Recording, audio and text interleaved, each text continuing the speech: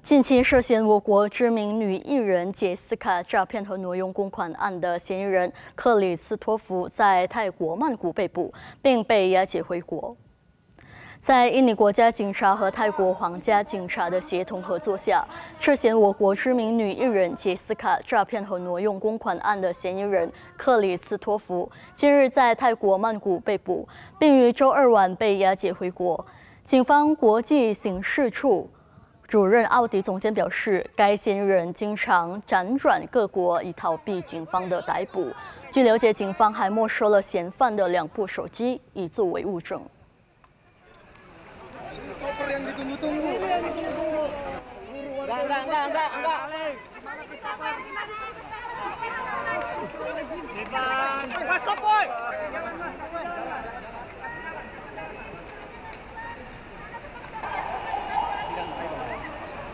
Jangan